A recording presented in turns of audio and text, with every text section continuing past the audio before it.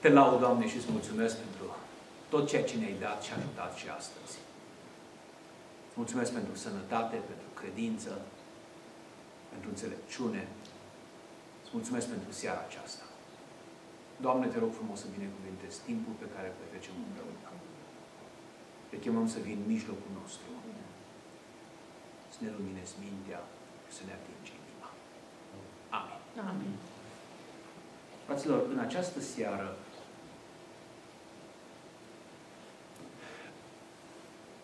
din studiul nostru pe urmele lui Hristos,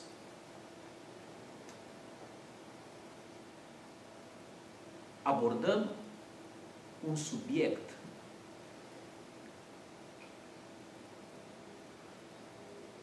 mai greu, dar cu relevanță deosebită. Cum a vorbit Mântuitorul despre El însuși?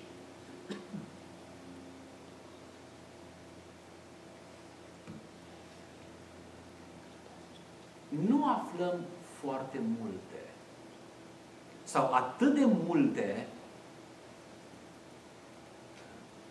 pe câte am vrea. Cred că este o explicație simplă pentru lucrul acesta. Cel care este blând și smerit cu inima vorbește foarte puțin despre el însuși. Foarte puțin. Avem câțiva termeni cheie care vor fi stâlpii pentru studiul nostru din această seară, dar nu foarte mult. Acesta poate fi un indicator care ne poate ajuta mult. Este important să ai o înțelegere corectă cu privire la sine, la tine însuți. Dar cu cât vorbești mai mult despre tine, cu atât nu ești ceea ce trebuie să fii. Conceptul central cu privire la înțelegerea de sine, pe care și-o aplică lui și pe care ne-o cere nouă, este lepădarea de sine.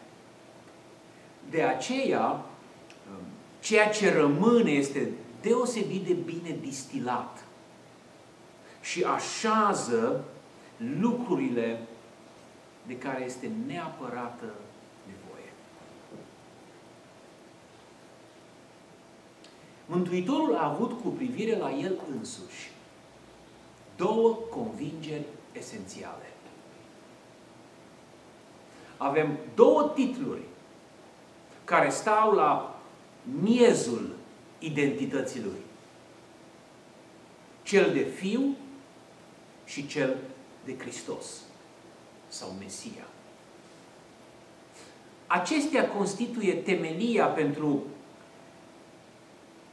oricare dintre atitudinile pe care noi le vedem descrise în cele patru evanghelii. Așa ceva stă la bază când El învață pe oameni. Când face o minune. Lucrurile acestea sunt temelia lucrării Lui. Cu fiecare pas pe care îl parcurgem, lecția pentru noi e următoarea. În ce fel trebuie să mă văd eu pe mine însumi pentru ca lucrarea mea, cuvintele mele, atitudinile mele să fie cele bune. Cele pe care Dumnezeu le așteaptă de la mine ca și copil al său. Cele două titluri pe care le avem din partea lui cu privire la el însuși. Titlurile de fiu și de Hristos trimit în următoarele direcții. Una dintre ele este o direcție pe verticală în legătură cu Tatăl, în legătură cu Dumnezeu, avem, are, El are o comuniune adâncă, completă. Aceasta este prima realitate. Cea de-a doua, care vine din numele Hristos, Mesia, El asupra poporului are stăpânire. El este împăratul. El este căpetenia poporului.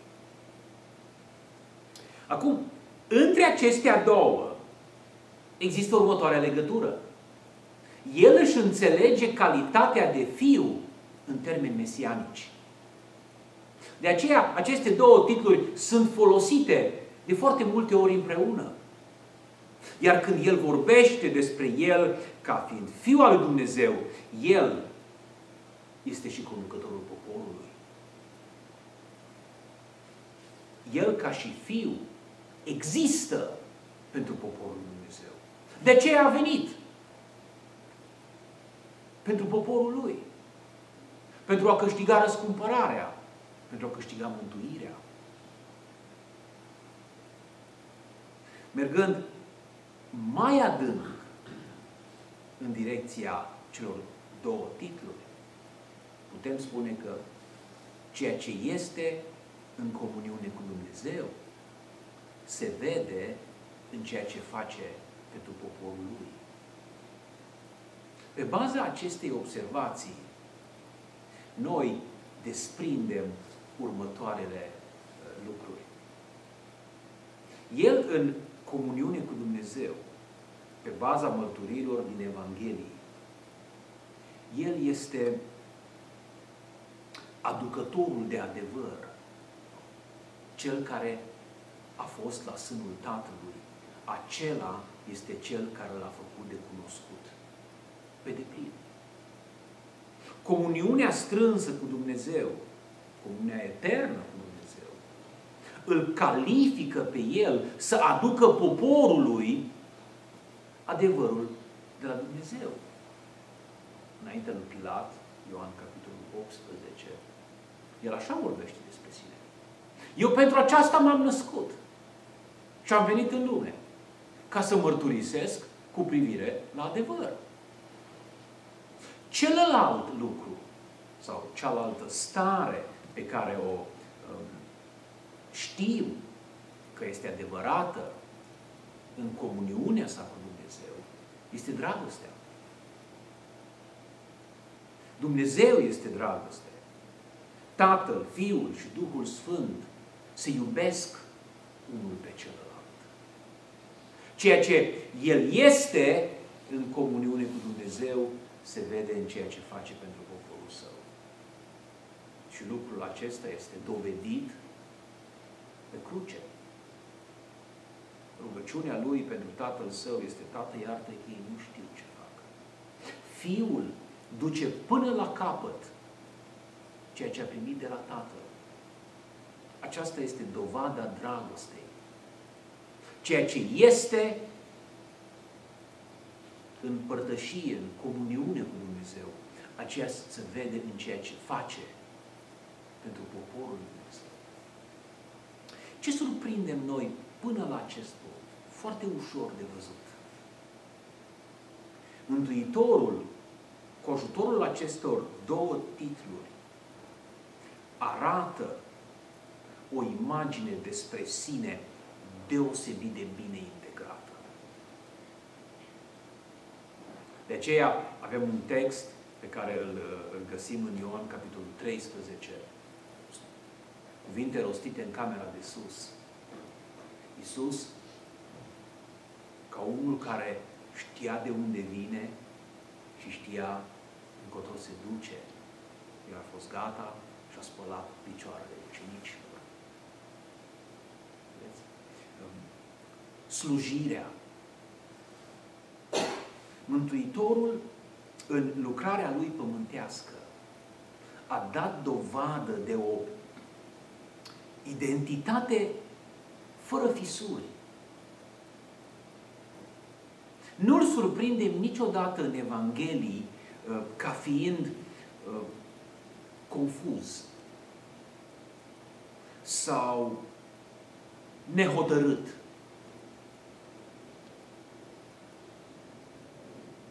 Avem această claritate, această convingere întemeiată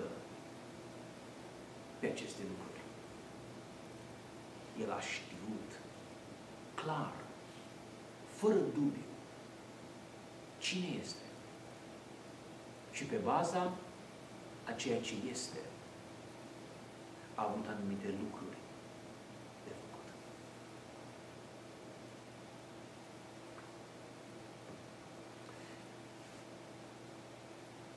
Calitatea lui de fiu și calitatea lui de Hristos, de Mesia,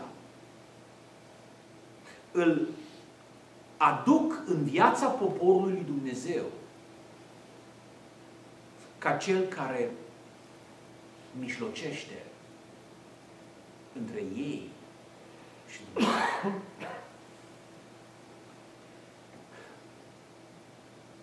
Faptul că tot ceea ce primesc oamenii de la Dumnezeu primesc prin Fiul, pentru El, a fost aducător de multe necazuri. De multe necazuri. În lucrarea lui în diferite locuri, mai ales la vindecări, iar apoi pe baza vindecărilor la acordarea iertării, el și-a câștigat mulți dușmani. Mulți dușmani. Până atunci, iertarea o primea omul când mergea cu jertfa la templu sau la cort. Acum, iertarea urmează să vină pe baza lucrării Lui. El în timpul lucrării Lui pământești o acordă și oamenii imediat se sizează acest lucru. Te faci pe tine Dumnezeu. Asemenea lui Dumnezeu. Omul nu mai are drumul pe care l-a avut înainte. Instituțiile anterioare a preoției, a templului, a jerfelor, sunt lăsate la o parte.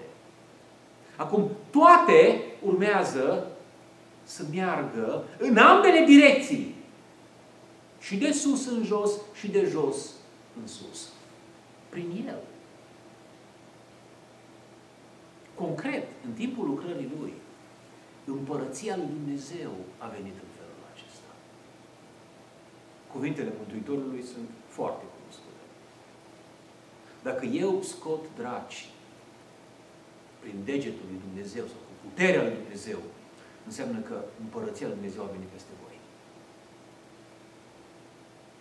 Mesajul lui, Evanghelia pe care el a predicat-o a fost Evanghelia împărăției lui Dumnezeu. O Evanghelie care are ca și motor de lucru cuvântul lui Dumnezeu, cuvântul lui Hristos. Tot ceea ce vine de sus la oameni, de la Dumnezeu la oameni, tot ceea ce merge de la oameni la Dumnezeu, trece de acum prin El. El este mijlocitorul. dar într-un mod special. El niciodată nu atrage atenția asupra sa. Pentru că aceasta ar fi o ispită foarte puternică. Nu? Acum toate vin pe la mine. Acolo e intersecția. Vedem lucrul acesta clar când îi învață pe ucenici să se roage. Aceea este uh, una dintre disciplinele vieții spirituale ale tuturor din poporul lui Dumnezeu. Cum te adresezi la Dumnezeu? În rugăciunea Tatăl nostru nu-L găsim pomenit pe Fiul. El nu apare. Nu. Dar El e Cel care învață să se roage așa. Rugăciunea Tatăl nostru are putere, are valabilitate, pentru că la temelie este lucrarea lui Isus Hristos. Așa e posibilă iertarea. Așa urmează să vină împărăția din nou. Îl ai pe El nemenționat. Lucrarea Lui face posibilă acea rugăciune. El nefiind pomenit niciodată. Niciodată.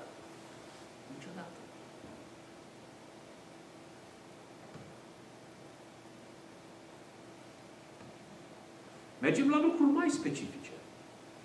În lucrarea lui cu ei, el niciodată nu le vorbește despre botezul lui.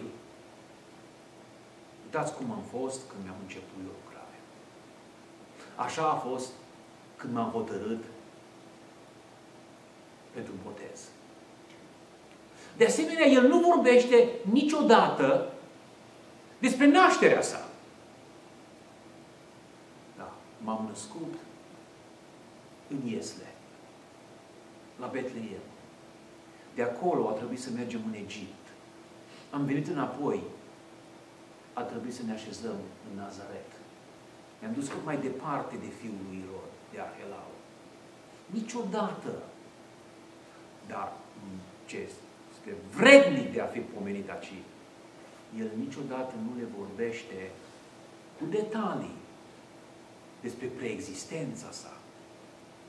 Uite, așa a fost când s-au făcut toate lucrurile. Așa a fost la creație. Nu-l auzi vorbind despre lucrurile acestea. Niciodată. Ne spune că înainte de Avram a fost el.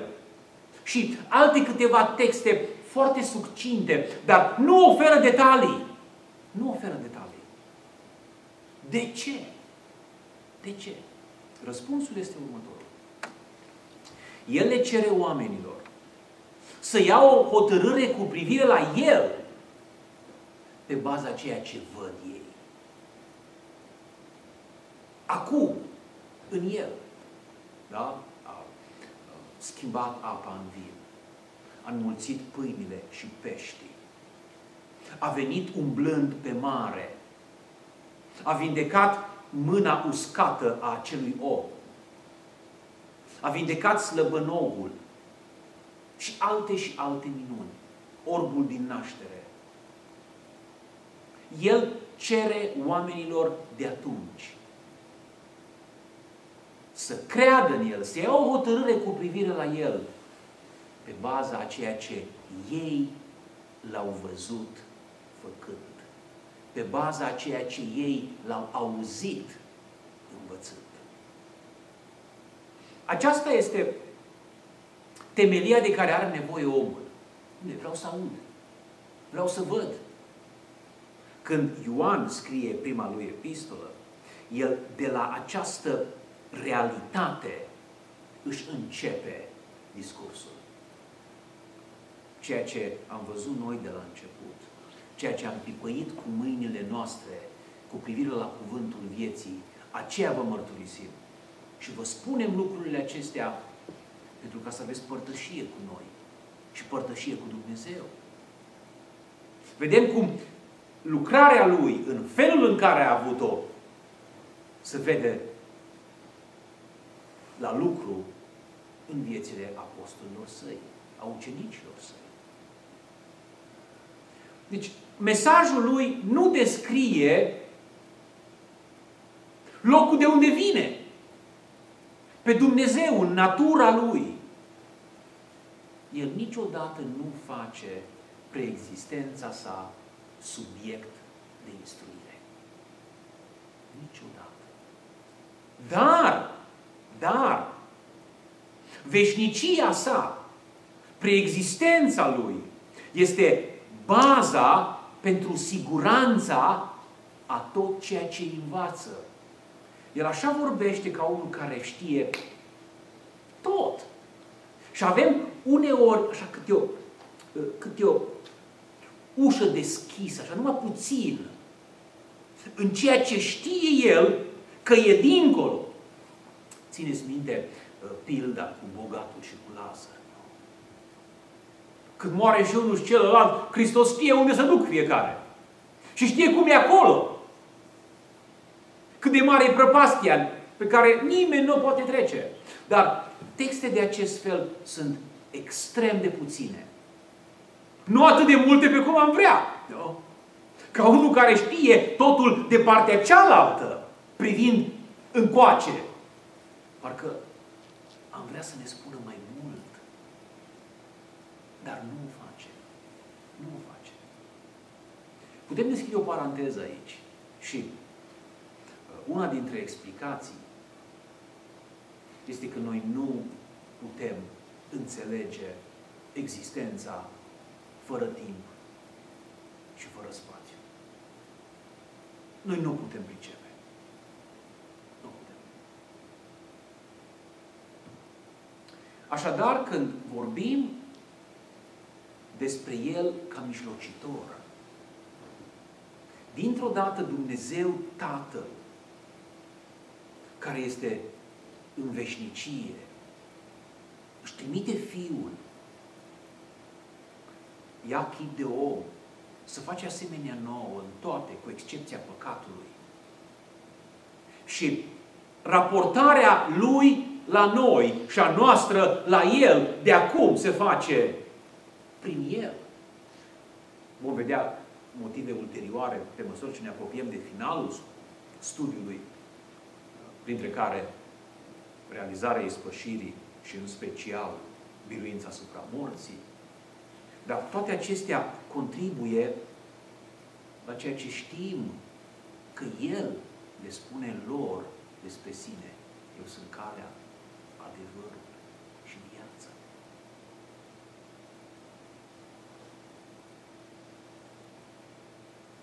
Fiu și Hristos. Mijlocitor. Mai avem un termen cheie. Moștenitor. În Evanghelii, acest titlu, această descriere a Mântuitorului este oferită cu ajutorul unei pilde. Cunoaștem pilda cu stăpânul care își dă via altora să lucreze, iar la vremea culesului, el își trimite robii să-și primească partea. Și vine primul, e bătut. Vine al doilea, la fel. Și în final își trimite fiul. Iar cei care aveau via în arendă zic, uite moștenitorul, dacă noi îl omorâm, via va fi a noastră. Care este ideea de bază? Tot ce are Tatăl îi dă Fiului. Totul. Moștenitorul, ca și titlu, ne ajută să înțelegem mai bine relația dintre El ca Fiu și Hristos. Cel care are o comuniune permanentă, completă cu Dumnezeu și cel care are stăpânirea asupra poporului. Toată această legătură pe verticală cu Tatăl și pe orizontală cu oamenii este adusă și uh, explicată mai mult în termenii moștenitorului. Ceea ce are Dumnezeu ca posesie principală este poporul lui, oamenii. Așa ceva acum, El dă moștenitorului. El dă fiului.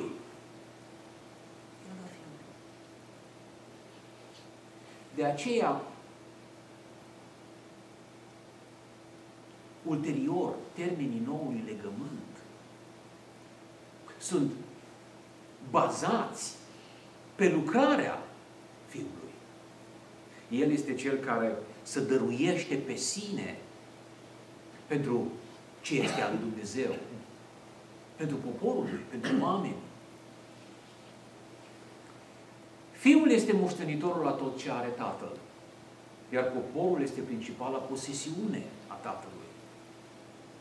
Această posesiune acum aparține Fiului. El este împăratul poporului. El este Hristosul. El este Mesia. Dacă recapitulăm lucrurile menționate până acum, vedem doar patru cuvinte. Fiu, Hristos, mijlocitor, moștenitor. Mai avem ceva de spus. Nu regăsim două descrieri pe care le-ai aștepta când vorbești despre legătura dintre Dumnezeu și oameni, de Dumnezeu și poporul său. Mântuitorul, de exemplu, nu se descrie pe sine ca și profet. Deși el era profet. El știe. Nu? Aduceți-vă aminte când este la uh, fântâna lui Iacov, cu femeia samariteancă. Când ea îi spune, văd că ești profet, el nu contrazice. El știe cât, cât soți a avut ea. Știe cu cine locuiește acum, că nu e soțul ei.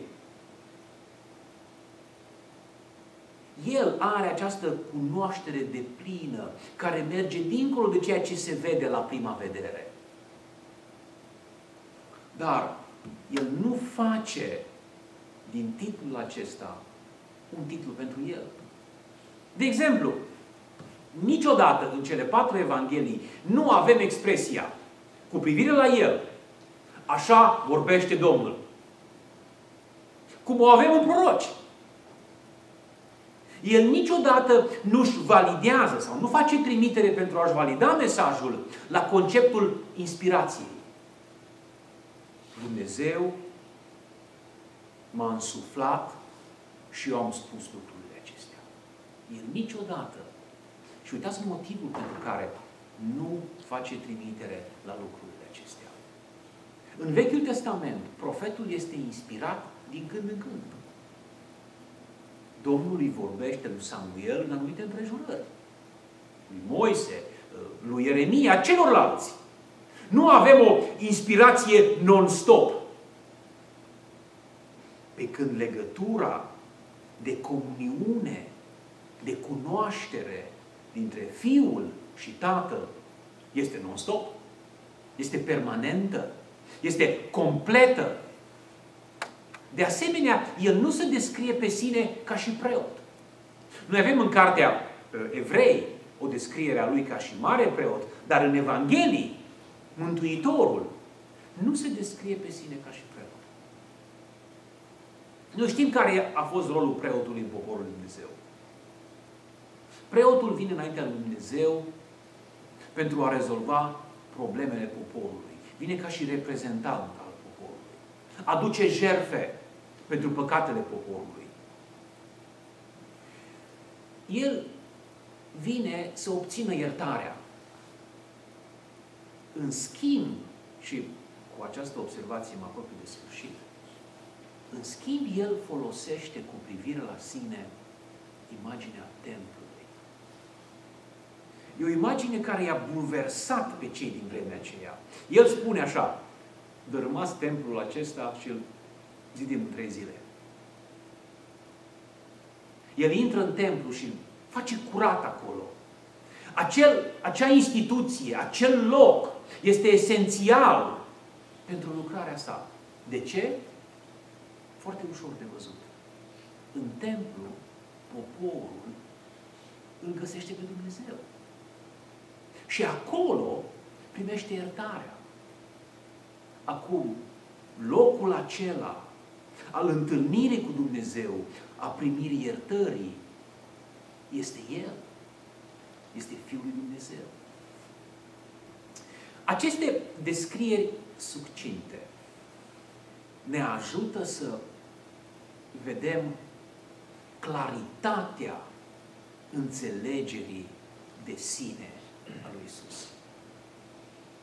Când i-a fost cel mai greu, cel mai greu, în Ghețimani. pe fie, fiecare dintre acestea au fost acolo la, la bază, stâlpi de susținere. Când este pe cruce, ultimele lui cuvinte certifică această claritate a misiunii. Misiune care se bazează pe această înțelegere de sine. S-a ispărit. Tot ceea ce a avut El de făcut ca și Fiu, ca și Hristos, ca și mijlocitor, ca și moștenitor, a fost dus la îndeplinire. Lucrarea s-a încheiat. Misiunea a fost îndeplinită. Dacă El a avut nevoie de această claritate cu privire la propria identitate. La fel avem și noi. Știind că adesea nouă ni se încurcă uh, imaginile. Cine suntem? Ce facem? Oare facem bine dacă facem lucrul respectiv? Și se strecoară îndoiala, nesiguranța, confuzia. El nu a operat cu termeni mulți. El a avut câțiva. Iar aceia au rămas neschimbați. Au rămas neschimbați. Eu fac trimitere în ce ne privește pe noi la unul singur. Știm acest verset de când eram copii. Este în Evanghelia după Ioan, capitolul 1, versetul 13. Tuturor celor ce l-au primit. El le-a dat dreptul să se facă copii al lui Dumnezeu. Născuți nu din voia oamenilor, ci născuți din Dumnezeu. Acest adevăr trebuie să fie parte integrantă din înțelegerea noastră de sine. O înțelegere care se bazează pe acceptarea cuvântului care s-a făcut trup. Pe această legătură, uniune, comuniune cu El. Noi ne tragem identitatea din relația pe care o avem cu Cel care a venit la noi, cuvântul care s-a făcut trup. Desigur, acest lucru continuă și poate fi dezvoltat, dar aceasta e fundamentul, aceasta e temelia. De acolo începe totul. Acestea au fost lucrurile pe care le-am avut pentru această seară. Întrebări.